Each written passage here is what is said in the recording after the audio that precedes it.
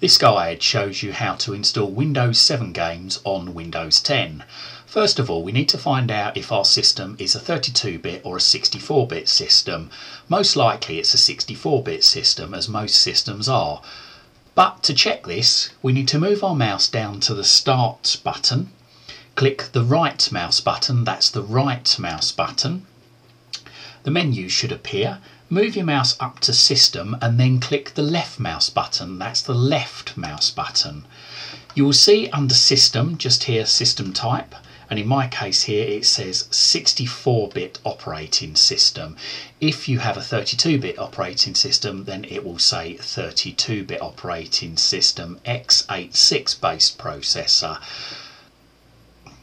we now need to close this window down, so left click on the cross at the top right hand corner of the window.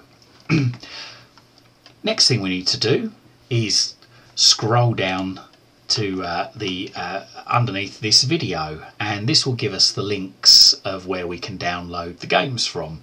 So we might need to click the word show more so we left click show more and as you can see here's the Windows 64-bit link to the version of the games and here's the 32-bit version. Now if your system said it was a Windows 64-bit system like my one we need to click on this link just here underneath Windows 64-bit version of games or if your version is a 32-bit version we need to click the link under 32-bit version. Well mine was a 64-bit version so I'm going to click the link just under 64-bit version.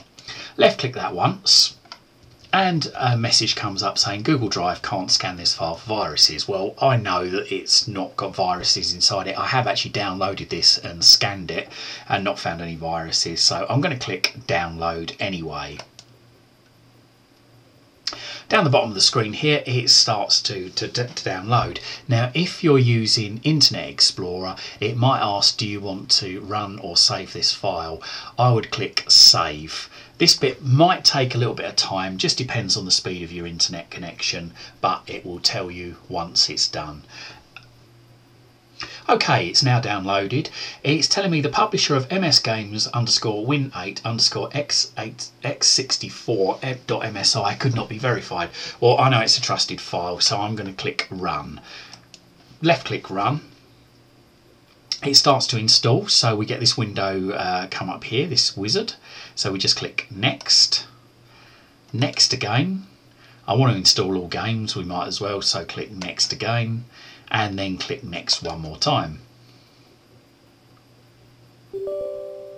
A, do you want to allow this app from an unknown publisher to make changes to your PC box now appears?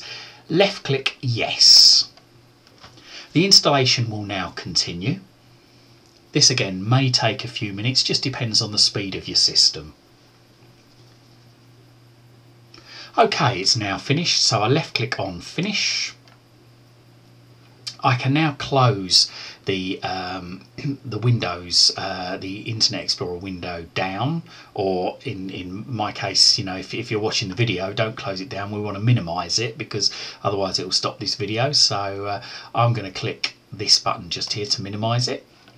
Okay, and we should find now the MS Games is now in our start menu. So I'm going to left click once on the start button, go to all apps, scroll down and as you can see under G for games if I click games you can see there we've got all of the games that were under Windows 7 so let's just test one out. I'm going to click solitaire.